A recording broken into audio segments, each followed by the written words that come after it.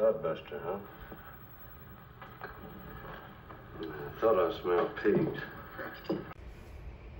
Hi guys, so as you may have guessed by the title, today we are talking sodbusters. Now, as you can see by the definition that I put up a while ago, a sodbuster uh, is a term that came about in, uh, I believe it was the late 1800s, and it came about to describe people who worked the land, you know, farmers, people who turned up the soil people who worked uh, as ranchers, farmers, and they turned up the soil, just like you can see in the depiction right here in this case sodbuster knife.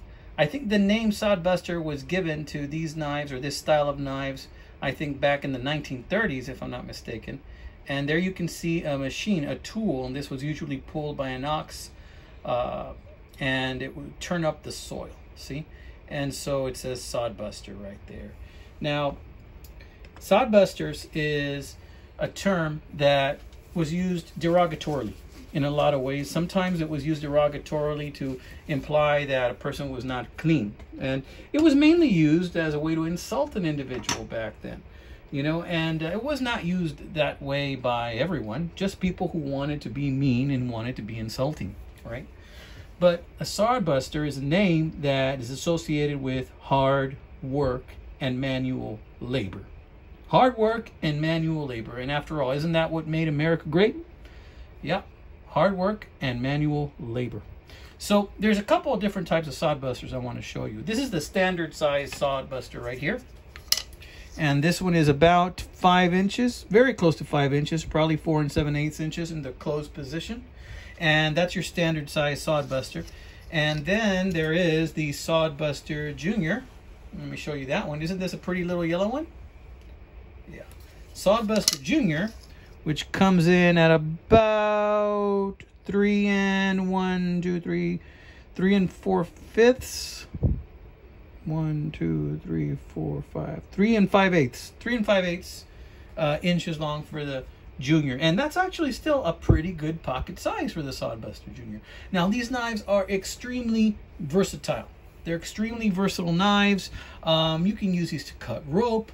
Uh, you can use these for any tasks that you might have around the ranch or around the home.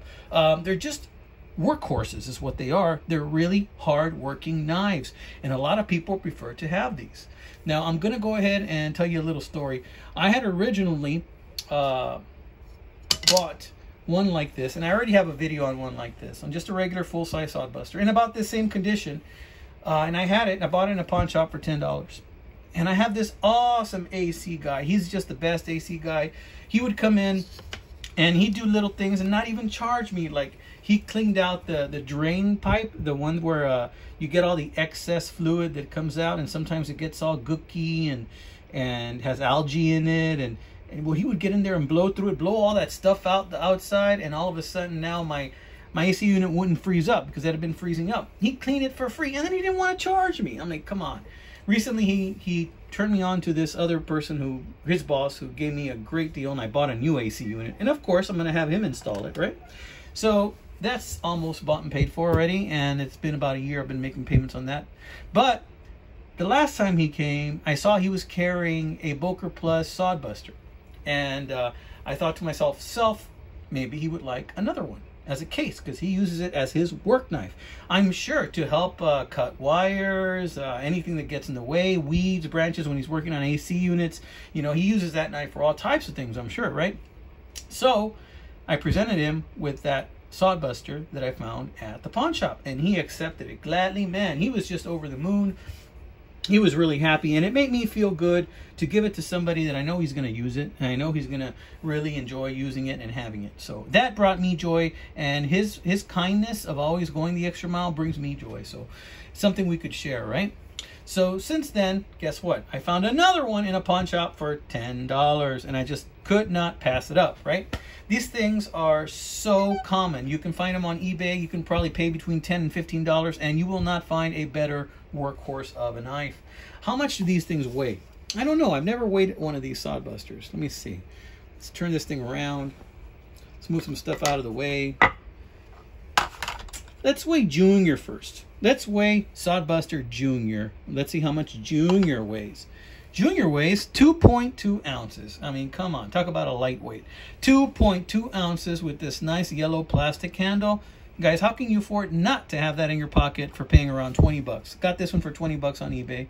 Um, looking at the tang stamp right here, I can see that it has the X's. It has five X's, but it's got no dots. And with that particular type of uh, cursive C on there, uh, I think that puts this at 2015. I could be mistaken, but I think 2015 because every year they remove a dot, and then every year after that they remove an X. Okay. Okay, guys, let's see how much Senior weighs. Senior Sodbuster weighs 3.2 ounces. So from 2.2 to 3.2. Can you imagine? It's just uh, one ounce heavier. Let's see. That makes 5.4. 3.2 to 3.2 to 3.2. That's amazing. It's just one ounce heavier. So the full size is only one ounce heavier. Wow, that, that's actually really good. It's good information to know too. So in any case, guys, I wanted to go ahead and show you this beautiful knife. Now, I'm going to go ahead and leave this here because I already have another video out on this puppy. Um, I believe that this one, see how it still has all of its X's and dots?